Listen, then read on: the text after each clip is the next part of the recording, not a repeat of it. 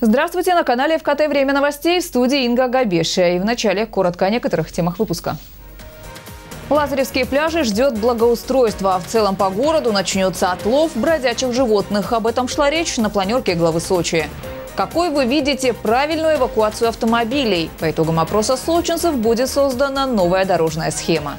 Не все предприниматели свыклись с мыслью, что туалеты и душ на пляже должны быть бесплатными. Точку поставил глава Сочи. Необыкновенную Индонезию можно открыть в Сочи. Одноименная выставка открылась в музее Островского.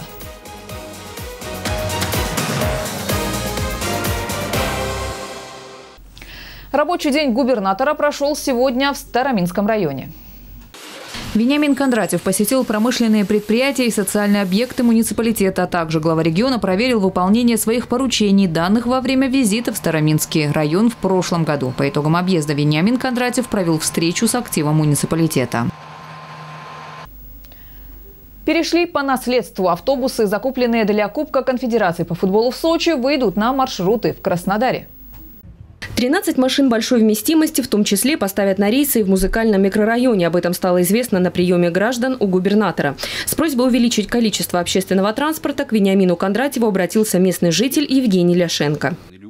Не хватает нормальных э, вместительных автобусов. Ситуация осложняется вечером, то есть а зимой после шести вот, все стабильно вызывают такси в основном, кто с маленькими детьми. В городской администрации после приема граждан губернатором тут же приступили к решению проблемы. Глава региона также потребовал от мэра разобраться с монополией на рейсах так называемых маршруток. Если бы проблема была только с автобусами, ну и с маршрутными такси, там тоже проблема. Я просто, коллеги, наверное, не надо нам лоббировать определенных перевозчиков э, и давать преференцию только вот он стал на маршрут, и вот только он, и только его маршрутные такси. Жалуются на то, что сегодня каждый хочет получить маршрут маршрут, каждый хочет э, заниматься перевозкой. Вопрос только не то, что не каждому это можно доверить. Ну, и в том числе и не нужно лоббировать того, который э, почему-то вот э, стоит на этом маршруте и никого на него больше не пускает. А страдают люди. Проблем-то с маршрутками не должно быть. На прием к губернатору приехали не только жители Краснодара. Кристина Чернышенко из Крымского района попросила отремонтировать дорогу в станице Троицкой. По словам девушки, в порядок участок приводили в 2012 году, но машины уже успели разбить асфальт, что мешает безопасному проезду автомобилей. У нас, как правило, вот, э, сделали ремонт, завершилась стройка, и все. И больше подрядчик никакой ответственности ни за что не несет том числе и за качество. Если э, претензии, э, о которых сегодня говорит Кристина Николаевна, на самом деле э, вызваны некачественными работами подрядчика, то больше выделять бюджетные деньги для того, чтобы опять ремонтировать эту работу, мы не будем, пусть он за счет собственных средств ее и ремонтирует. Иначе мы никогда денег не напасемся в бюджете, даже в дорожном фонде, на бесконечный ремонт, бесконечный ремонт дорог вот, знаете, на э, строительстве и ремонте кубанских дорог никто зарабатывать не будет. А если кто будет э, браться за их ремонт и строительство, то они будут делать качественно. Министр транспорта Краснодарского края пообещал проверить подрядчика, который занимался дорогой в станице Троицкой. Ее капитальный ремонт начнется в следующем году. Тогда же выделят деньги и на реставрацию бассейна в спорткомплексе станицы Новоджерелиевской. Об этом губернатора попросила семья Бабич из Брюховецкого района. Галина Моисеева, телекомпания ФКТ. В Сочи пришла настоящая жара. Вместе с тем наступил и пожароопасный период. Сегодня на планерном совещании глава города объявил о повышенном противопожарном режиме и призвал службы обеспечить контроль детских летних лагерей здравниц мини-гостиниц на предмет пожарной безопасности. Подробности у Елены Овсециной. По сравнению с прошлым годом количество пожаров в Сочи значительно сократилось. Тем не менее, за полгода произошло 52 пожара. По-прежнему отмечены случаи поджогов мусора и сухой травы. Глава города отмечает, пожаров в Сочи быть не должно. Вот активная работа с населением по разъяснению вестись должна. Наступила жара и поливочные работы надо усилить. Кроме того, нацпарку рекомендовано ввести особый режим для посетителей.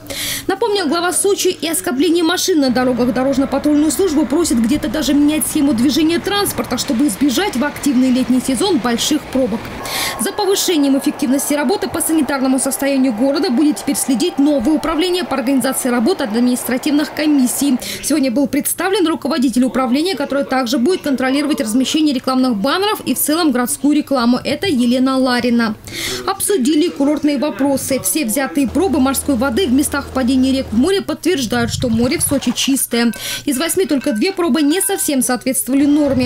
Это в Лазаревском районе. Там также отмечена недостаточная работа в благоустройстве и оборудовании ряда пляжей, таких как Аквалао, Ивушка, Варданы и Якорная щель. Такую огромную работу, которую провели наши предприниматели Адберского района, Центрального района, это немалые деньги на пляже были потрачены. Вот. Той же Лазаревки, там замечательный самой Лазаревки пляж.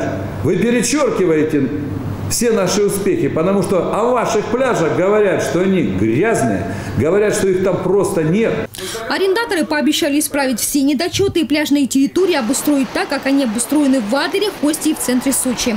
Навести порядок в Лазаревском районе предстоит и с селлингами, которые не украшают пляжи, а наоборот портят их вид. Более того, будут обустроены новые пляжи и к ним подведут дороги. К инвестиционному форуму должны быть подготовлены проекты по развитию Лазаревского района. Пусть гостинички строят, пусть аквапарки там строят, вот Зубова щель. И тогда появится у людей рабочие места, тех, которые там живут. У предпринимателей, которые хотят заниматься, появится желание пляжи делать. Я объяснил, что можете отдавать эти пляжи и говорить, что там временные э, кафешки можно поставить и так дальше. То есть нужно нам сегодня Лазаревкой заниматься, Лазаревским районом. Удивило всех собравшихся количество людей, обратившихся за медицинской помощью после укуса собак. В первом квартале 2017 года их уже более тысячи. По данным ветеринарного управления, с 2013 года случаев бешенства в городе не выявлено. И все же усилить работу по отлову бездомных животных необходимо. К сожалению, показатели 2016 года по отлову по сравнению с 2015 были снижены и составили всего 76%. А данные первой половины 2017 года, где за 6 месяцев было отловлено всего 1906 голов, говорят о снижении еще на 5% по сравнению с 2016 годом. Чтобы не доводить ситуацию до критической, глава города взял этот вопрос под личный контроль и потребовал в течение недели навести порядок с бездомными животными. Краевой закон предусматривает административную ответственность для тех, кто нарушает правила выгула домашних животных. Призвал Анатолий Пахомов и усилить контроль за отдыхом людей на воде, в частности, проверять постоянно те фирмы, которые предоставляют услуги на водных аттракционах и те, которые организуют джипинг. Чрезвычайных ситуаций не было и допустить их нельзя, ведь с каждым днем туристов на курорте становится больше. Елена Овсецина, Демид Даниловский, телекомпания ФКТ. Служба эвакуации, контроль за которой теперь в полномочиях муниципалитета, вновь выйдет на дороги курорта. Администрация города совместно с ГИБДД будут в течение нескольких месяцев тестировать организацию в центре Сочи дорожного движения и работы эвакуаторов. Улицы так называемого «золотого квадрата» первые в списке. Помочь в правильном формировании проекта призваны волонтеры, задача которых – услышать замечания горожан. По максимуму дать возможность парковаться. Планируется. Волонтеры совместно с представителями ГИБДД вышли на улицы курорта, чтобы услышать замечания горожан, а нередко и дельные предложения по новой схеме работы службы эвакуации. Гипермагнит где находится? Вот. вот возможно, улицу Каспийскую продолжить. Здесь чистого В принципе, я полностью поддерживаю и очень рад, что наконец-таки начались какие-то изменения городе начался наводиться порядок. В принципе, те машины, которые движению не мешают, стоят на месте, там вдоль, вдоль улиц, в принципе, их не имеет смысла эвакуировать, да, а машины, которые движению мешают, их, соответственно, надо убирать. Я считаю, что порядочная парковка в Сочи, конечно, не, необходима. Мнение и предложения горожан в части организации дорожного движения, дислокации знаков и автомобильной разметки, а также дополнительных парковочных зон планируют учесть при утверждении порядка работы эвакуационных служб. Должно стать больше информации о местах как платной, так и бесплатной парковки. Особенно сейчас курортный сезон, э, приезжие граждане теряются в центре города. Э, у нас отсутствует, в общем-то, система правильных парковок. Это и облегчит, в общем-то, работу юристов, так как люди, обращаясь к нам, считают, что они не виноваты. Однако, разбираясь в этой ситуации, мы понимаем, что все-таки, да, существует проблема и в автолюбителях, и со стороны э, закона. Схема, где выделены участки дорог, так называемый «Золотой квадрат» – это центр Сочи, улицы Островского, Рос, Воровского и ряд других, и территория Адлерского района. Здесь особое внимание к правилам парковки. На каждой из них затруднено движение, и порядок на улицах нужно обеспечить. Планируется разработать и проект совместно с навигационными ресурсами. Попробуем э, договориться значит, э, с некоторыми наиболее активными э, представителями навигационных предложений, а также, э, соответственно, общих таких известных поисковиков, где можно будет увидеть э, непосредственно, куда ставить машину не стоит, а где у нее есть возможность машину поставить на той или иной платной или бесплатной парковке. Эвакуация должна быть действенной, а главное, нужной курорту проводиться по заказу города именно на тех участках, где это действительно необходимо. При этом дорожные знаки, согласно которым остановка или стоянка автомобилей запрещены, никто не отменяет. А вот их дислокация и целесообразность установки будут пересмотрены. Рената Шипулина, Максим Ковригин, Михаил Дубинин, телекомпания «ФКТ». Новая «Ласточка» на маршруте Адлер-Майкоп уже перевезла 10 тысяч пассажиров за две недели. Состав начал курсировать по маршруту с 3 июля. Популярность нового маршрута «Ласточки» обусловлена удобным временем отправления и прибытия для жителей Адыгеи Краснодарского края, собирающихся отдохнуть на Черноморском побережье. Из Майкопа поезд отправляется в 6 утра и прибывает в Адлер в 11.07. Из Адлера обратно «Ласточка» отправляется в 17.58, прибывает в Майкоп в 23.45. Сейчас на маршруте Адлер-Майкоп работает две пары поездов. В целом, в рамках программы «Дневной экспресс» поезда «Ласточка» курсируют на пяти маршрутах – Кисловодск-Ростов, Краснодар Краснодар-Адлер, Краснодар-Америтинский курорт, Адлер-Майкоп и Краснодар-Розахутор. Сочинские набережные заметно преобразились. Это отмечают отдыхающие. Работа проделана большая, правда, недочеты все же остались. Некоторые предприниматели до сих пор не свыклись с мыслью, что туалеты и душевые кабины должны быть бесплатными. Другие вовсе продолжают чинить препятствия гостям. Это накануне обнаружил глава курорта Анатолий Пахомов во время обхода адлерских пляжей. Продолжит Рената Шипулина. И гости курорта Сочи, температура воды 25 градусов. Набережная в Адлере на пляже, как и в лучшие советские времена, яблоку негде упасть. Кто-то устроился прямо на гальке, кто-то на полотенце, а кто-то решил гулять так гулять и обзавелся жезлонгом. Арендаторы прибрежных территорий имеют право предоставлять посетителям дополнительные услуги за деньги. Но базовые потребности отдыхающих должны удовлетворяться бесплатно, подчеркнул глава Сочи Анатолий Пахомов. Туалеты везде, и на пляже, и в ресторане, и в кафе должны быть бесплатные как и душевые с раздевалками. Вот только это требование городских властей далеко не все поспешили исполнить. Точнее, как только к тому или иному туалету приближался мэр, он тут же становился бесплатным. Тем временем туристы утверждали обратное. Глава курорта потребовал наказать тех, кто взимает плату с отдыхающих. Но такая предприимчивость со стороны местных бизнесменов, как выяснилось, все же не испортила впечатление гостей о Сочи прошлом году э, здесь отдыхала. С каждым годом лучше, лучше и лучше. Но то, так и должно Очень быть. хорошо набережная, очень хорошо сделано. Во-первых, хорошо дежурят. Во-первых, потому что курить никто не курит. да, это, конечно, главная задача Ни, безопасность. Никто не пьет. Все очень Вам красиво, нравится, что у нас казачье. А главное, безопасно. Набережную действительно регулярно патрулируют полицейские и казаки. А потому на пляжах тишь да гладь. Правда, руководители некоторых объектов, стремясь обеспечить безопасность отдыхающих, явно переусердствовали. Санаторий «Южное взморье» преградил путь отдыхающим металлодетекторами. Проход и так узкий, а тут еще и дополнительные препятствия. Это место общественного пользования, то есть муниципальное. Нам рамка здесь не нужна. Долгое время проход здесь был и вовсе закрыт. По обе стороны Южного взморья стояли заборы, которые делили Адлерскую набережную на две части и не давали отдыхающим возможности совершить длительный морской променад. Но городские власти смогли разрешить эту ситуацию в их пользу. В судебном порядке установили сервитут. Заборы в конечном счете исчезли, но на их месте появились рамки. На каких основаниях? Ответ от охраны мы так и не получили. Девушка без комментариев сказали, что ничего не буду говорить.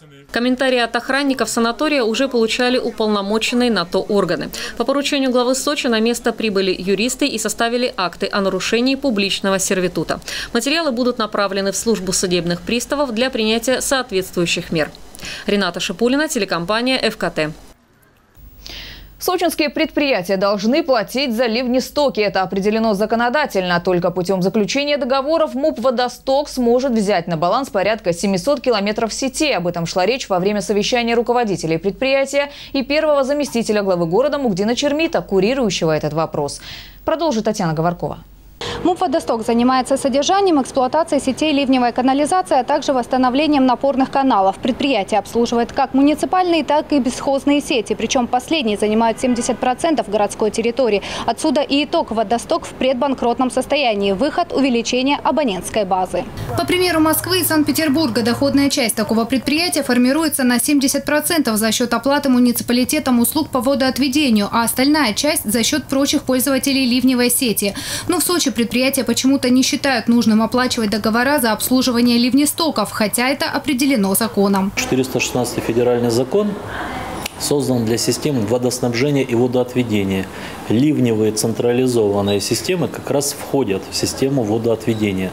Поэтому плата за ливнеотвод, за отвод дренажных вод, она определена законодательно и считается обязательной. Алексей Толмачев стал исполнять обязанности руководителя водостока три месяца назад, и за это короткое время ему удалось оптимизировать структуру управления. После анализа численности и компетентности сотрудников штат водостока сократился на 29 человек. Кадровые изменения произошли среди руководителей. Начаты мероприятия по взысканию просроченной дебиторской задолженности, сокращаются и долги самого предприятия. Ситуация начала выправляться. Вы знаете э, важность выполняемых вами задач. И э, думаю, что есть очень много неохваченных э, направлений в деятельности, которыми нам еще предстоит заниматься. Поэтому все эти вопросы, которые стоят перед предприятием, будут в поле зрения моего, в поле зрения моего коллеги Юрия Федоровича Павломарчука. Руководителям структурных подразделений поручено в двухдневный срок подготовить предложение по улучшению деятельности предприятия, из которых будет сформирована дорожная карта антикризисных мер. Предприятию необходимо также провести обследование и до осенних дождей принять на баланс бесхозные ливневые сети. В городе более 700 километров. Для их расчистки требуется специальная техника, а это значит дополнительные расходы. Поэтому сейчас главная задача – изыскать возможность финансового оздоровления предприятия, что в конечном итоге благоприятно скажется на качестве городской среды в целом. Татьяна Говоркова, Алексей Давыдов, Михаил Дубинин, телекомпания «ФКТ». Эко-поезд волонтеров мира прибудет в Сочи. Краевая экологическая акция проходит в регионе в рамках Года экологии и в преддверии Всемирного фестиваля молодежи и студентов.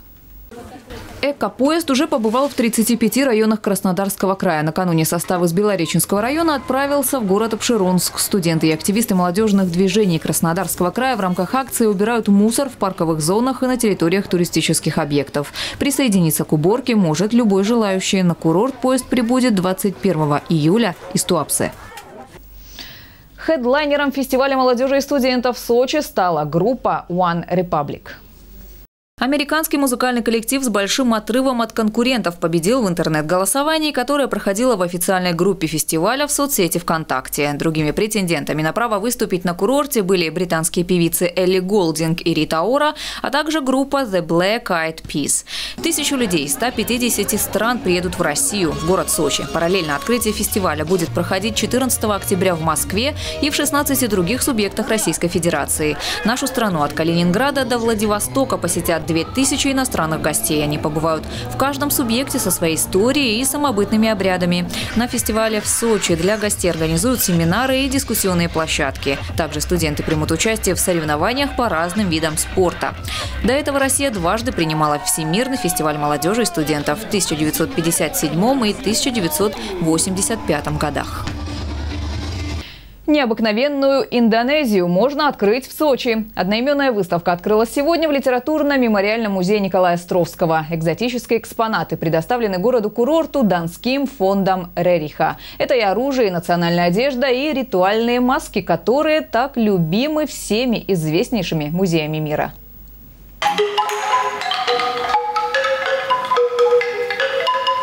Музыка ветра. Этот талисман, уверены индонезийцы, защищает их от негативной энергии. Мастерят его островитяне не только из бамбука, но и, к примеру, из ракушек. Много на выставке и кошек в самой Индонезии, там, где это животное считается символом преданности, любви и верности, их более 30 миллионов. Здесь же представлены объемные плоские куклы, резные маски, статуи богов. Такие резные предметы в своих коллекциях хранят богатейшие музеи мира. Декоративно-прикладное искусство в полной мере отображает этнокультурное многообразие страны и ее особенности, отмечают специалисты. Культура Индонезии, она впечатляет, она яркая, экзотичная. И здесь очень много предметов ритуальных, потому что Индонезия впитала в себя сразу несколько религий. Это буддизм, это христианство, индуизм. Это основные религии, которые исповедуют народы, населяющие эм, шесть с половиной тысяч островов из 17 тысяч. Обычно Индонезию называют страной тысячи островов, желая подчеркнуть, что это крупнейшее в мире островное государство. Там проживает 760 народностей и видов традиционной национальной одежды там тысячи. Основные можно увидеть на выставке в Сочинском музее Островского. Многие племена, несмотря на наличие в республике роскошных отелей, и сегодня подчиняются первобытно-общинному строю. Некоторые народности до сих пор занимаются только охотой.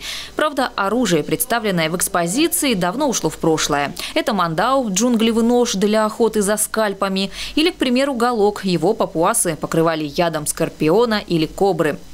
Выставка «Необыкновенная Индонезия» в литературно-мемориальном музее Николая Островского работает до 5 сентября.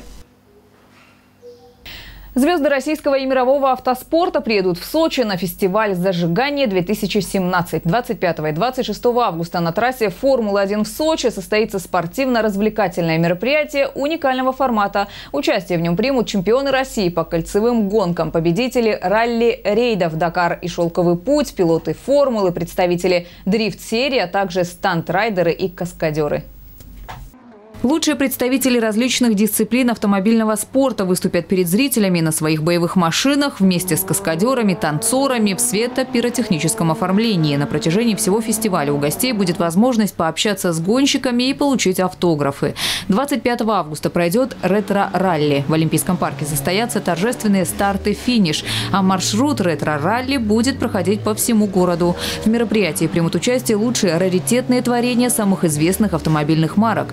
Во второй день ралли участники будут соревноваться не только за спортивные награды, но и за титулы «Самый стильный экипаж» и «Лучшее перевоплощение». Шоу-программа завершится на медальной площади Олимпийского парка концертом группы «Пицца» и праздничным фейерверком.